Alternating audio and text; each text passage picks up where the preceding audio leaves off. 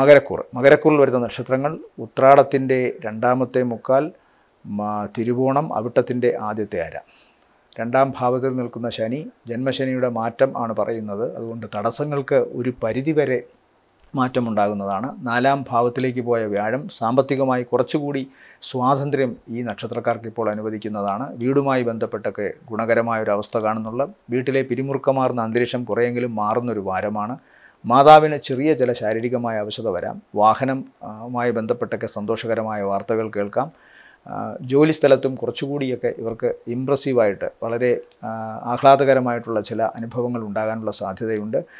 ഏതെങ്കിലും തരത്തിൽ ആലസ്യത്തിലോ ഏതെങ്കിലും തരത്തിൽ വിമിഷ്ടത്തിലോ ഒക്കെ ആയിരുന്ന ജോലി രംഗത്തെ ആ, അവസ്ഥകളൊക്കെ മാറാനുള്ളൊരു ഭാഗ്യം കാണുന്നു.